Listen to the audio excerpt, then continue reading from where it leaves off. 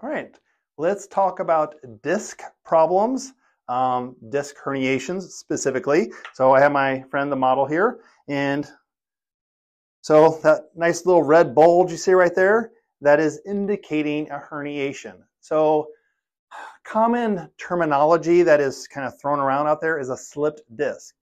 Technically, the disc can't slip. Um, what happens is the disc is that space between the bones, and at first it expands or bulges, kind of like a water balloon when it's getting compressed, it expands. That's basically what we see with the disc.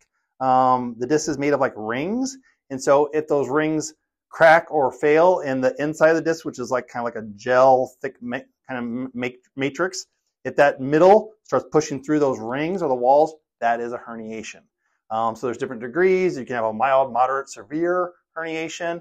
They don't all mean that that's surgical. Um, a lot of disc problems can heal.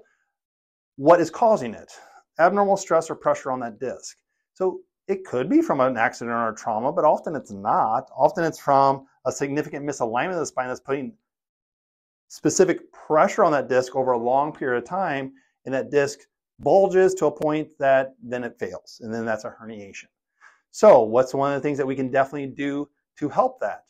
Well, identify where is this happening. So, is it something that's going on in the neck or the back? I mean, that is important, but getting you into proper alignment. So, one of the most important things you can do with any disc problem is making sure your your spine is in alignment and things are balanced and level because that will balance the pressure on the disc and allow that to heal. Now, at times, it may require surgery, but often it does not. So the first step is to get it checked, get it evaluated. Again, often these things can heal on their own with support and guidance, um, but getting identified as far as what's going on and if you're out of alignment is very, very important. Um, don't ignore a disc problem. It is something that you should do something about and know that they definitely can improve with proper treatment and proper healing.